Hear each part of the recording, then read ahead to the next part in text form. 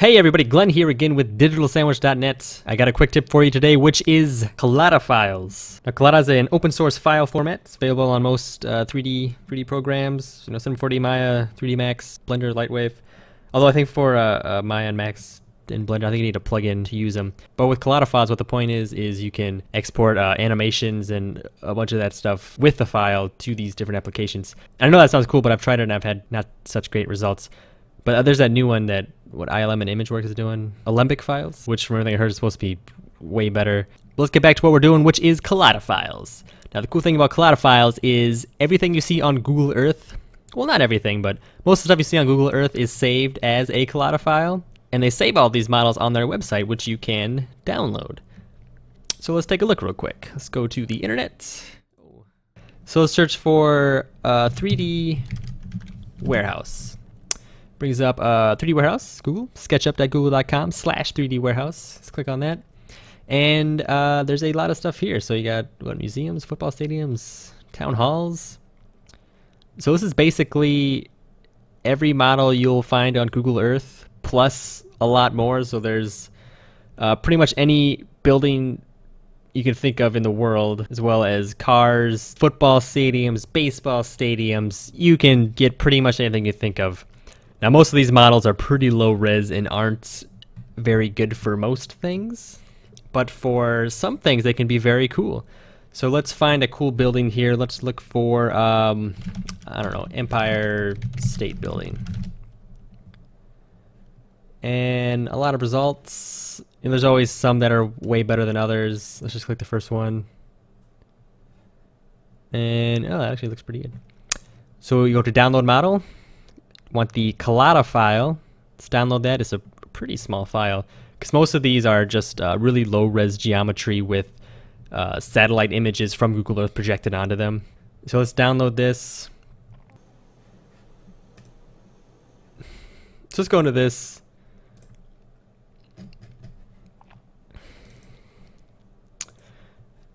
Uh, we go into it, uh, we got our model, let's open it up. Oops. We got our model and we can just drag this straight into Cinema 4D. Brings up the Collada 1.4 importer. And we want to import all of this. Let's hit open. And look at this. We've got the Empire State Building looking right at us.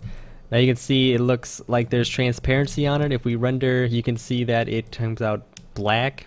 And a lot of times, not every time, but a lot of times they come in with transparency on for some reason. We can just flip that off and there is the Empire State Building.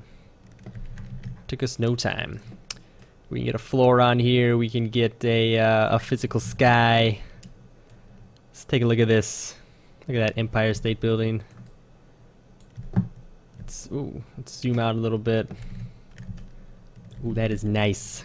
And so most of these models are free to download. I mean, give credit to whoever made them. Uh, I had to do some previs stuff recently, and it was nice to just be able to grab a lot of these models and just kind of toss them in there as placeholders for now, just to kind of uh, set up camera moves and you know perspective and all that all that jazz. You know that was kind of short and point. We can do more with this. So here I, I just collapsed everything down. So I just selected, so I just unfolded all the menus and groups. I did a right, I selected them all, right clicked and uh, connect and delete. So I just brought everything into one, one object just to make it easier to deal with. So let's put a, I don't know, let's do like a bend or something. I don't, yeah, like a bend or something. Uh, unlimited, uh, let's turn it so we don't see all that gross stuff. Uh, and let's have it like spring up or something. Let's bring it up. Uh, let's make it bounce a little bit. We can put a uh, delay effector on it. We need to put it underneath the bend. We need to change this to point. Let's go in and make this spring. Hit play and kind of kind of bounces up. So make it a pop-up book for King Kong, and as the book opens, the Empire State Building flips up. I don't know. So I mean, you know, there's a lot you can do with this. Depending on what you're making, you can go onto the 3D warehouse. There's so many models. Now, you might run into a problem sometimes where if there's an object with uh, transparency, where if you open up the material, sometimes you'll have to drag the uh, color channel straight into the alpha channel to make the alpha, because for some reason they're not automatically set up with alpha.